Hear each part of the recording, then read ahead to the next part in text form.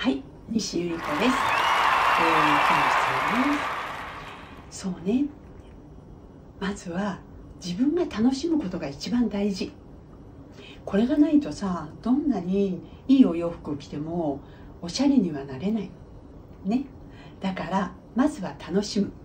そして選ぶ時は好きな服。